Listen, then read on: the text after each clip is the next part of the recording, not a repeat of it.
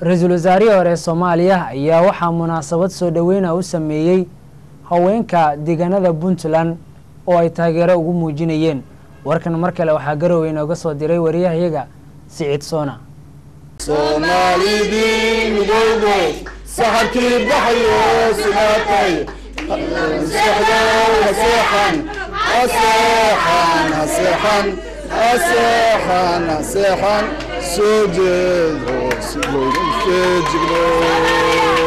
ra'iisul wasaarihii hore ee soomaaliya ahna guddoomiyaha madasha midnimada iyo dimuquraadiyadda cabdiweli sheekh axmed iyo wafdigu hogaaminayo oo muddooyinkii dambe ku sugnaa puntland ayaa kulamo kula qaatay magaalada garowe ururada kala duwan ee haweenka ee puntland gudoomiyaha ururka haweenka puntland khadro warsamo jaamac oo kulanka soo qabanqaabisay ka dhacay garowe ayaa sheegtay in madaxda ka socotay madasha midnimada iyo dimuquraadiyadda soomaaliyeed ay ka haween ahaan taageero u hayaan waxaana sidoo kale munaasabadaasi hadalla ka jeediyey haweenkii kale ee ka soo qaybgalay oo muujiyey sida ay muhiimka u tahay midowda soomaaliyeed iyo haweenka oo doorkooda laga siiyo arrimaha siyaasadda ee socda.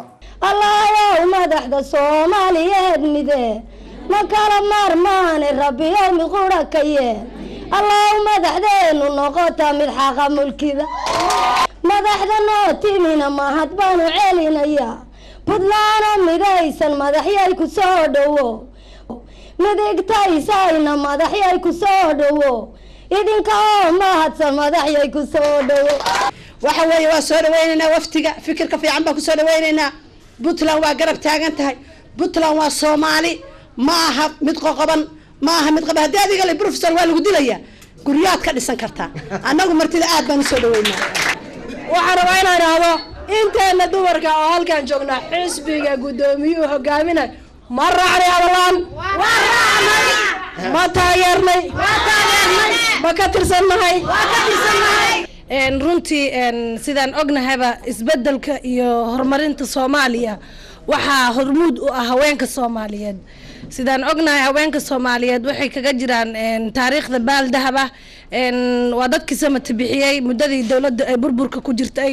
Waxaana hadda rajaynaynaa inay noqdaan dadka isbeddelka hormuudka u noqon doona.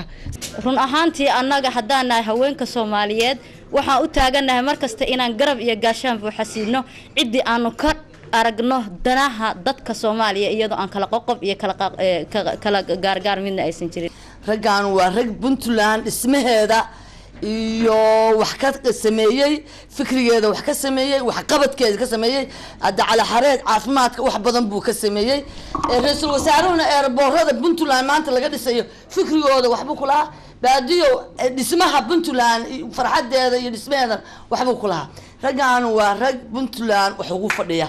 Soomaalina ay u midaysan tahay ra'iisul wasaarihii hore ee soomaaliya ahna guddoomiyaha madasha midnimada iyo dimuquraadiyadda cabdiweli sheekh axmed oo safarkiisa ay ku weheliyeen dhaktar cabdiraxmaan macalin cabdulaahi baadiyow iyo wasiirkii hore ee caafimaadka soomaaliya cali maxamed maxamuud cali xareed oo ka wada tirsan madasha midnimada iyo dimuquraadiyadda soomaaliya ayaa ururka haweenka puntland uga mahad celiyey. Taageerada ay u muujiyeen waxayna xuseen kulamadan inay salka ku hayaan wadatashi ay la sameynayaan shacabka qaybihiisa kala duwan waxaan la sheeg sheegayo oo leeyahay waxbaa lagu qaybsanayaa oo magacyada loo kala bixinayo.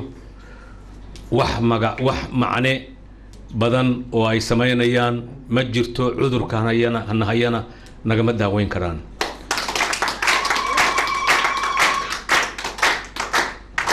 Waxaana daaweyn karaa waxa weeye sanduuq inta halkaa la dhigo qofkaa rabtaan aada u dirsataan hay'adaha dalka maamulaya. Maalintaa rabtaadna aad tidhaahdaan qofkaasu nama anfaco qof kale aan ku bedelanayna waxaan annaka u jeednaa oon u soconnaa oon isku soo raacnay. Arrinta ugu muhiimsan waxaa waaye soomaaliya sidaatan si ma ahe saatan ha loo dhaaf yani ha loo dhaamo. Saatan dowlad kuma noqonaysee dariiq cusub ha loo jeexo. Laakiin geeska afrika shacbiga soomaalideed degan shacbi ahaan oo afartaas dowla u qaybsan waxay dhanyihiin soddon milyan dad ku dhawaad ah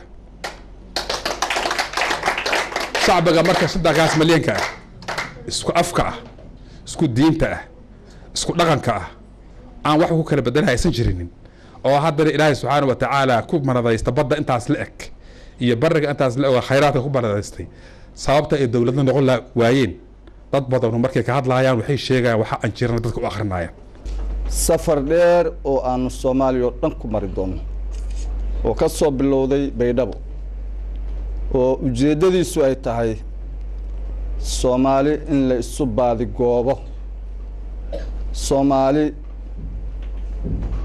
waa burburtay sidaanna kuma joogi karto. Soomaali bahal baa cunaya haddii sida hadda ay tahay ay ku sii socoto.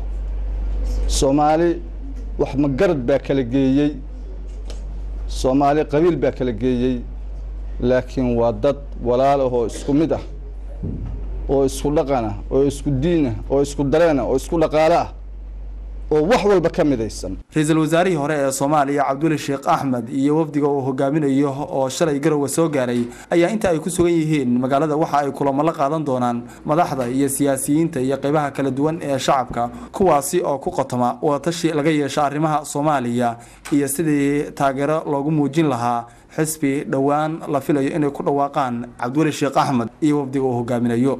Socodsoona somaali janal garowe